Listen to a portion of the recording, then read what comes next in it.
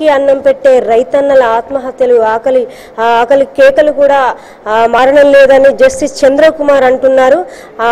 ప్రస్తుతం మనతో పాటు ఉన్నారు. ఆయనతో మాటల ప్రయత్నం చేద్దాం. సార్ చెప్పండి ఆ గతంలో నూతన ప్రభుత్వం రైతులకు ఎలాంటి హామీలు ఇచ్చిందో ఆ పథకాలు పెట్టిందో ఇప్పుడు పక్కదారులు ఉన్నాయంటారా? ఇప్పుడు మొదటి నుంచి వ్యవసాయ రంగం నిర్లక్ష్యం చేస్తున్నారు. ఈ రోజు నుంచి దాదాపు ఇరవై ఇరవై సంవత్సరాల నుంచి కూడా కేంద్ర ప్రభుత్వాలు కానీ రాష్ట్ర ప్రభుత్వాలు కానీ వ్యవసాయ రంగాన్ని పూర్తిగా నిర్లక్ష్యం చేస్తున్నారు. దానివల్ల ఏం జరిగిందంటే ఫస్ట్ కారణం ఏ ప్రాజెక్టు కూడా అంటే పూర్తి కాలేదు. అనేక ప్రాజెక్టులు మధ్యలో వచ్చేసి మధ్యలో ఆగిపోయినాయి. ఇప్పుడు కనీసం ఇప్పుడు ఆదిలాబాద్ జిల్లాలో ఒక వెయ్యి కోట్లు ఖర్చు పెడితే ఒక లక్ష ఎకరాలకు నీళ్ళు ఇవ్వచ్చు.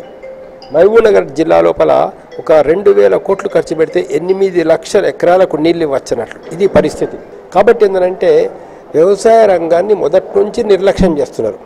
ఇప్పుడు ఎంత నిర్లక్ష్యం అంటే ప్రాజెక్టులు పనులు కాదు. అక్కడ ప్రాజెక్టుల పేరు మీద అవినీతి. ప్రాజెక్ట్ లేదు కాలువలు తవ్విస్తున్నారు.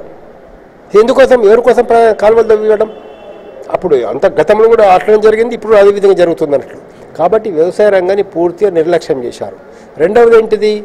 ఈ విత్తనాల కంపెనీల చేసేటువంటి దుర్మార్గాలని ప్రభుత్వం అరికట్టలేకపోతున్నాయి.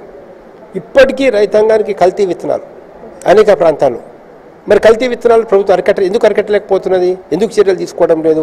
అంటే ఒక రకంగా కల్తీ విత్తనాల ద్వారానే రైతుల ఆత్మహత్యలు పెరిగాయి అనుకోవచ్చు. కల్తీ విత్తనాలు ఒకటే కారణం కాదు. కల్తీ విత్తనాలు కూడా కారణం. కల్తీ విత్తనాలు కావచ్చు కల్తీ పురుగుల మందులు కావచ్చు కల్తీ ఎరువులు కావచ్చు అనేక రకాల కారణాలు.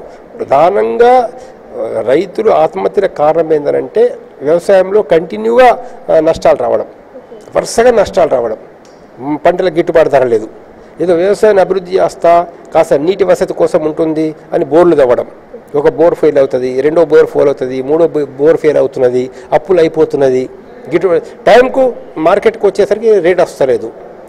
సో ఎంతైతే ఖర్చు పెడుతున్నాడో ఖర్చు కూడా రావడం లేదు రైతుకు దానివల్ల అప్పులు పెరిగిపోయి అప్పులు తీర్చే మార్గం లేక ఆత్మహత్యలు చేసుకుంటున్నారు. రైట్ సార్ ఇప్పుడు ఉమ్మడి రాష్ట్రంలో ఉన్నప్పుడు రైతుల ఆత్మహత్యలు ఆగలేదు. అలాగే కొత్తగా తెలంగాణ రాష్ట్ర ప్రభుత్వం వచ్చిన తర్వాత కూడా రైతుల ఆత్మహత్యలు ఆగలేదు. దీనికి ప్రధానమైన కారణాలు ఏమంటారు? దీనికి ప్రధానమైన కారణం ఏంటంటే గత ప్రభుత్వాలు ఏ పద్ధతులు అనుసరించినాయో ఈ ప్రభుత్వం కూడా అదే పద్ధతులు అనుసరిస్తున్న తప్పించి కనీసం రైతుల పరిస్థితులు బాగు చేద్దామనేటువంటి ఒక ఆలోచన ప్రభుత్వానికి లేదు. అంటే ఎంత అంటే అప్పు మాఫీ చేస్తామని చెప్పారు. ప్రతి రైతుకు లక్ష రూపాయలు అప్పు మాఫీ చేస్తామని చెప్పినారు. మొత్తం ఎంత అవుతుంది? పదహారు వేల కోట్ల రూపాయలు అవుతుంది అన్నట్టు. కానీ ఏం చేసింది? జీవో ఇచ్చింది ఫస్ట్ ప్రభుత్వం. ప్రతి రైతుకు లక్ష రూపాయల అప్పు మాఫీ చేస్తున్నాము. ఆ అప్పు మా ఖాతాలో ఉంటుంది ప్రభుత్వ ఖాతాలో ఉంటుందని చెప్పేసి. వెంటనే మాట మాట మార్చేసి మేమో ఇచ్చారు. మరి ఎవరిని మోసం చేసినట్లు? రైతులు మోసం చేసినట్లు కదా? ఇవాళ ఏ రైతుకు కొత్తగా అప్పులు రాలేదు. సో అప్పులు రాకపోవడం వల్ల ప్రధానంగా ఏదైతుందో రైతులు చాలా నష్టపోతున్నారు. మరి ఈ ప్రభుత్వం అయినా నేను విత్తనాలు సరఫరా చేయడం కానీ ఎరువులు సరఫరా చేయడం కానీ కొత్త పద్ధతులు అనుసరించడం కానీ అది చేస్తున్నారా చేయడం లేదా? ఓకే రైట్ సార్ ఇప్పుడు ప్రధానంగా ఈ కరువు పరిస్థితిలో ఉన్నప్పుడు ప్రభుత్వం రైతులను ఏ విధంగా ఆదుకోవాలంటారు? ప్రభుత్వం ఏ విధంగా రైతుల్ని ఆదుకోవాలనంటే ప్రభుత్వం మొత్తం పశుగ్రాసం సరఫరా చేయాలి. ఫస్ట్ కరువు ప్రాంతాలుగా ప్రకటించాల్సింది. ఎక్కడెక్కడైతే రైతులు నష్టపోయారో నష్టపోయిన ప్రతి ప్రాంతాన్ని ముందే అంచనాలుగా వేసి కరువు ప్రాంతంగా ప్రకటిస్తే కేంద్రం నుంచి సాయం వచ్చేది మనకు. కేంద్రం నుంచి సాయం వస్తే మనం రైతాంగానికి ఇవ్వచ్చు. కేంద్రం నుంచి సాయం వల్ల ఏంటిది? అప్పు మాఫీ అవుతుంది. వడ్డీ మాఫీ అవుతుంది. మరి సబ్సిడీలలో ఎరువులు ఇవ్వచ్చు విత్తనాలు ఇవ్వచ్చు.